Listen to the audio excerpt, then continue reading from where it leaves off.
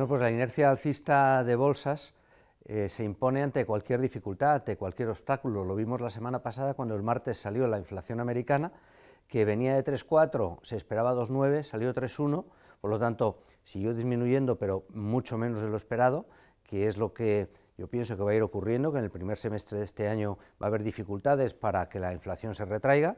y con ese dato malo de inflación americano, el mercado el martes cayó, pues el SOX, que son semiconductores, fue lo que más cayó, un 2%, el Nasdaq 100 cayó en torno a 1,6, el S&P cayó 1,2, es decir, las caídas se notaban,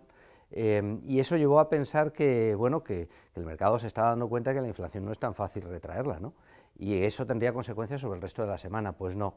Y ya el miércoles empezó a rebotar otra vez, y jueves, viernes ya la inercia alcista la retomó. Y yo creo que esto es algo que vamos a tener también esta semana. En el fondo lo que sucede es que los resultados empresariales están siendo muy buenos. Ahora se está publicando el cuarto trimestre del año 23 con unas 400 compañías publicadas del S&P 500, se esperaba más 1,5 del BPA medio, el beneficio por acción medio, y vamos ya por más 7%, lo cual proporcionalmente es mucho mejor de lo esperado, porque esperándose, insisto, más 1,5 tenemos más 7%.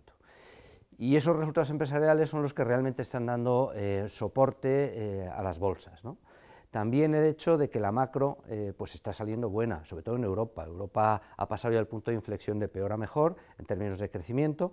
y van a empezar a aparecer trimestres más o menos decentes en términos de crecimiento, insisto, para el primer trimestre de este año, el segundo trimestre, con crecimientos pequeños, pero crecimientos, eludiéndose la, contracción económica o la recesión técnica. Y en Estados Unidos el PIB muy bien, el empleo pleno, casi igual que en la eurozona, en la eurozona es más discutible, pero también es así, y por lo tanto la macro está dando también un soporte muy bueno. Y al final lo que nos queda después de esto pues, eh, pues son eh, los bancos centrales, las declaraciones de los banqueros centrales y sus posibles movimientos en cuanto a bajadas de tipos próximas o lejanas. El mercado se está adaptando a que esas bajadas de tipos pues, no son tan inminentes en absoluto, eh, ahora ya se han movido después de la inflación americana del martes pasado hacia junio, acabarán moviéndose hacia julio o septiembre, pero no se le da demasiada importancia a esto. ¿Por qué? Pues porque el resto de factores funcionan muy bien, resultados empresariales, macroeconomía, ciclo, y las declaraciones que hacen los eh, banqueros centrales pues son cada vez más ambiguas, incluso contradictorias entre sí, y se les da menos importancia. Con eso y con gran liquidez en mercado, eh, teniendo la geoestrategia pues apartada de momento, aunque es una bomba de relojería que en cualquier momento cambia, pero de momento está apartada, lo que tenemos también esta semana es un tono muy parecido, de, que se impone la inercia alcista, el lunes es festivo en Estados Unidos, por lo tanto poco volumen el lunes, y a partir del martes ya salen cosas, sale macro, pero es una macro que va a ser sobre todo americana, muy continuista, inofensiva, eh, sale indicador adelantado, que saldrá menos 0,3, una cosa así, viene de menos 0,1, eh, las actas de la última reunión de la FED, que tienen poco que aportar, después de tantas declaraciones de banqueros centrales ya lo sabemos casi todo.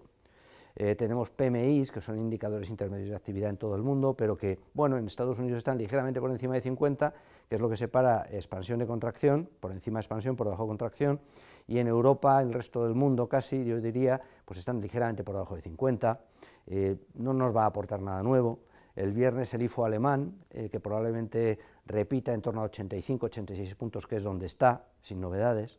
y por lo tanto el protagonismo de compañías.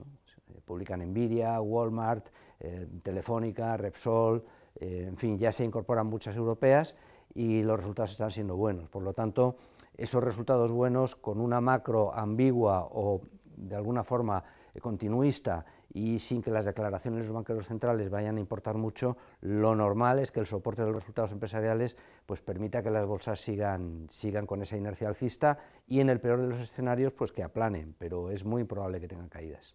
Muchas gracias.